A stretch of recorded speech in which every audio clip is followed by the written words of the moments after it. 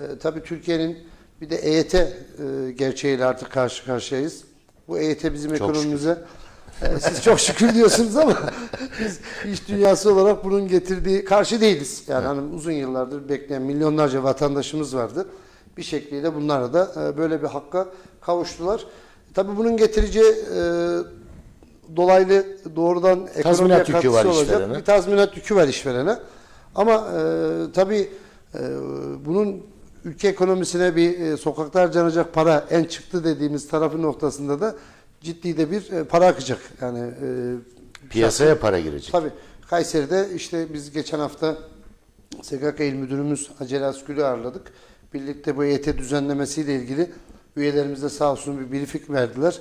Bilgilendirmelerde bulundular. Oradan edindiğimiz rakam Kayseri'de 40 bin kişinin Emekli e, emekli olacağı bu noktada. E, 40 bin. 40 bin. Evet, yani EYT düzenlemesiyle. Bu ciddi bir rakam.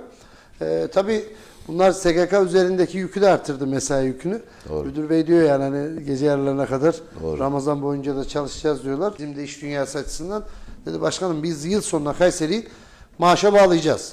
Yani burada maaşa bağlama noktasında bir prosedür var biliyorsunuz. Doğru. Yani o illa EYT çıktı dendiği anda hani otomatikman sistem üzerinizde TC kimlikle size bir maaş e, şekillenmiyor.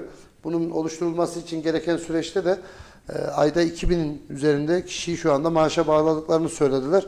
Bu müthiş bir rakam. Türkiye yani ortalamasının çok çok üzerindeyiz. çok çok üzerinde ve Kayseri'de bu noktadaki ki, çalışan sayısının da 12 kişi olduğunu söyledi. Ha, Şimdi tabii şöyle hemen pratik bir hesaplama yaptık. Hatta ben o gün müdür beye de söyledim. Ee, tabii baz maaş dediğimiz 5500 civarında. Tabii en son Sayın Cumhurbaşkanımızın 7500 TL emekliye de maaşı açıkladıktan sonra bu rakam daha e, yukarı hale aldı. Ama bizim o rakam üzerinden tamamını hesapladığımızda aylık 200 milyon, yıllık 2.4 milyar TL gibi şahsen 40 bin kişi Kayseri'de emekli olacaksa bu para Kayseri ekonomisinde dolaşacak. Artı girecek. Artı girecek. Hani bu çok ciddi bir rakam. Bu şehrin ekonomisini de e, ciddi ciddi etkileyecek bir rakam olduğunu düşünüyoruz biz. E, niye bu rakamı çarpanladık, hesap ettik?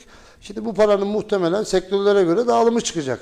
Yani ev ihtiyacı olan evini yenileyecek veyahut da e, hiç olmayan ev alma noktasında biraz daha kendini e, ki özellikle 60 ve 120 aylık gibi e, biliyorsunuz TOKİ üzerinden de yapılan ilk evin projesi var. Buraya da belki birçok insan bu noktada müracaat ettiler. Otomotiv sektörünü etkileyecek, yiyecek içecek sektörünü etkileyecek. Netice itibariyle bu emekli bu şehirde bu parayı aldıktan sonra bir yatırıma dönüşecek.